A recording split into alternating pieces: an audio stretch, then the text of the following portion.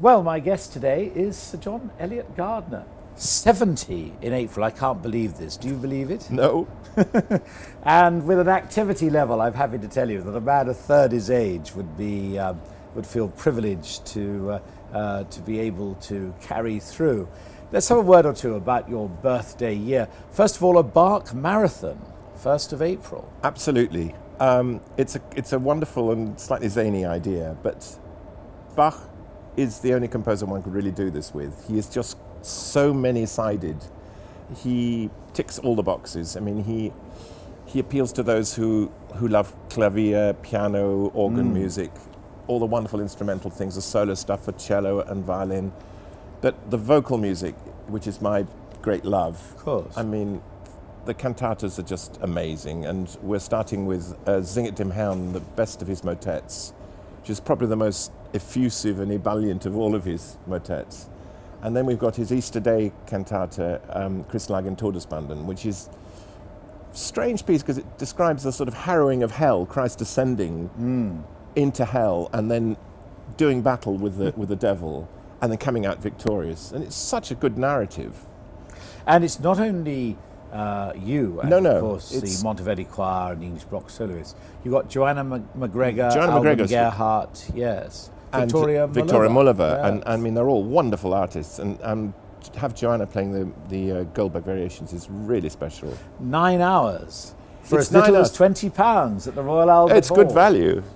um, and uh, there's a wonderful panel of, of people, not the usual kind of boring musicologists and um, you know classic FM presenters, but actually you know a philosopher, a very interesting, very sharp lady who's a psychiatrist and who's done quite a lot of work yes. into, um, you know, Bach's character, um, and various in, extremely interesting sort of uh, neuroscientists, mathematicians, right across the board, who'll be talking about his music and seeing, explaining what really appeals to them as mm. lay musicians, but as specialists in their own field. Now, you know my sadness. I shall not be in London. Where will I be?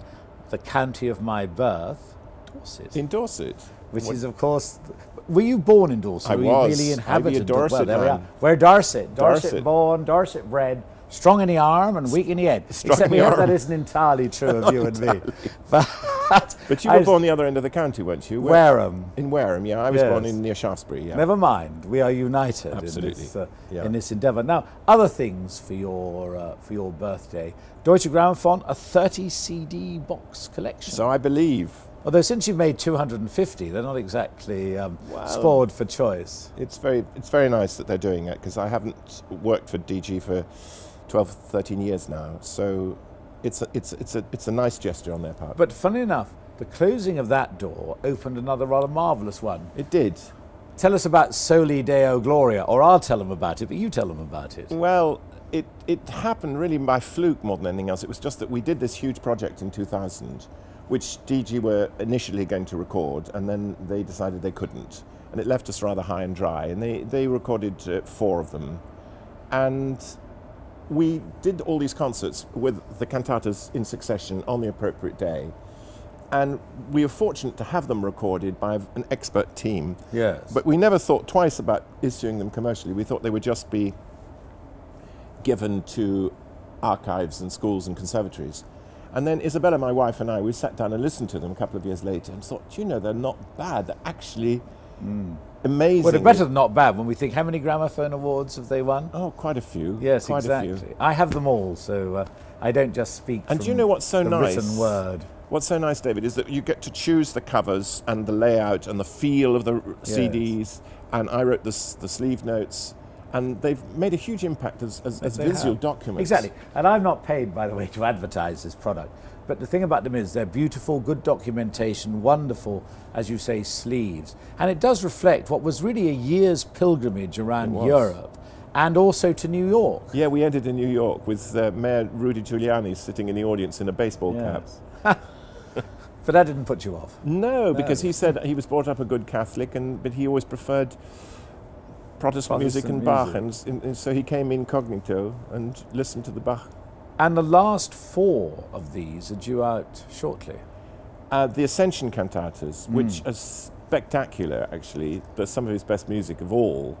And the only reason we, um, we weren't able to record them in 2000 was because we encountered, encountered a priestess from hell who forbade them. Really? Yes, she wouldn't have it recorded in her church, the Cathedral of Salisbury. Um, so we've made up for it since and recorded them, and uh, it was the only place that everybody, everywhere, everyone else was so cooperative. But anyway, Anyway, Soli Deo Gloria, uh, the Bach cantatas, if you really want to know about Bach, that's a, as good a place. Well, I was going to say a starting point, it's a good ending point as well, at least I find it so. Moving on to other projects, see, uh, what, I, in my tribute to you, because I've got to get this in, Classic FM, you are 70 on the 20th of April, though I don't actually believe it, but anyway, that's what they say. The 21st of April, we have two hours, me choosing my favourite recordings of yours, and I don't know whether you'll agree with the choice. I'm going to start off with another Soli Deo Gloria recording of concerts, a concert that you gave in Carnegie Hall in New York with Beethoven's Fifth and Seventh Symphony, which I just think, you know, if you want to have music that really has it all in terms of grandeur and inspiration, and you've moved on since you recorded them commercially, so Yes. it's great to have that. and it, it- we were on a high. We really were, everybody, because we'd done a tour through Europe and then arrive in Carnegie Hall, where they're not used to hearing um, Beethoven played in that sort No, of way. And the audience was in, helped us. They, they really lifted us. There was a tremendous sort of um, effusion in, in the hall. Now, look, let's just finally turn because obviously we are a station that plays um, uh, recordings of music. Uh, it's been a, th- a genuine thrill for me as someone who I think I've probably got every recording that actually you've ever issued commercially to work out what I could best put into two hours. And I'm pleased that um, uh, I've not tried your patience too much with the ones that I've chosen. No, I've also chosen Massenet's orchestral suites Oh, nice. which um, I think you recorded rather a last minute. Yes, in Monte Carlo. Absolutely. I was called up on the Friday and had to record on the Sunday. So I really was flying by the seat of my pants, and I hadn't ever heard of these pieces. And um, it was lovely because they are they are approachable and they're not sort of difficult to get into, but they're just so winning, and they've got so much kind of natural French elegance to them and lots of charm. And some opera composers just about get by as orchestrators, and others are rather brilliant at it. Massenet was rather brilliant he was it. very good. Yes, and the orchestral suites show that. And the only um, um, other thing, of course, an absolute favourite of mine, Percy Grainger, which you conduct something called the English Country Gardiner Orchestra. yeah, that's a bit, a bit of a, a lark. but you actually met him. I met him um, when I was seven years old. He was a great friend of my great uncle, Balfour Gardiner, who was composer, and they both have been students together. And Balfour was a very correct English gentleman wearing a three piece um, tweed suit. And Grainger was dressed from top to bottom in bath towels and wearing raffia shoes and cavorted around and was very genial. I remember him being absolutely delightful and very eccentric, and I just adore his music. It's it's original, it's maverick, but it's got something quite unique. Now, we've celebrated your 70th birthday. I want you to look ahead. What are we, you and I, going to talk about on your 80th? Oh, God knows, but there will be some Janacek, there will be some more Monteverdi, um, there will be some more Bach, inevitably.